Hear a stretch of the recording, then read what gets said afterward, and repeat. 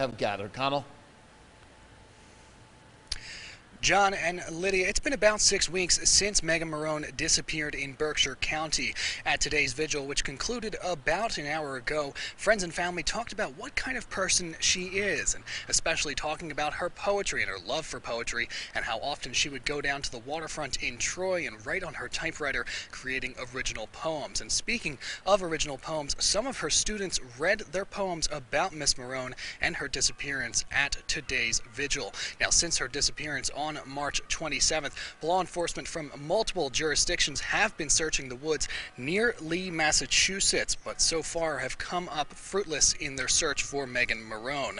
Now, Marone's colleague Becky Wilson says the vigil today was not about Marone not being here, but rather to focus on the idea of the hope that someday she may come home safe to her friends, her family, and her school.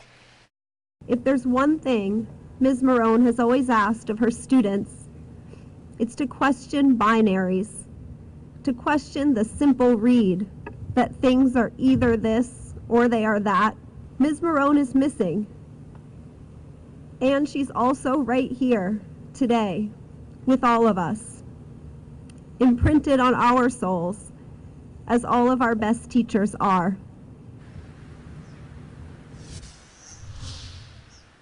According to the Berkshire Mountain Search and Rescue Team, which has been helping law enforcement search for Megan Morrone, they will continue their search around the woods of Lee, Massachusetts next week. Live at Shaker High School in Colonie, Connell Smith, News 10, ABC.